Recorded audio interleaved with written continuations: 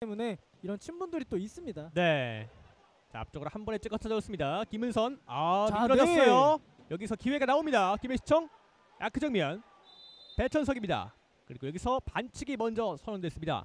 아, 네 지금 두 명의 선수가 동시에 넘어져 있는데요. 네. 황재훈 선수 그리고 앞쪽엔 또 한 명의 선수가 넘어져 있는데 아, 이 아, 과정에서 네. 네. 김주원 선수가 머리 쪽에 충격을 입은 것으로 보입니다. 네, 오늘 경기 수비에서 이제 좋은 활약을 펼치고 있는 두 선수인데 아, 네 그래도 네 일단은 일어서는 모습을 또 보이고 있습니다. 그렇습니다.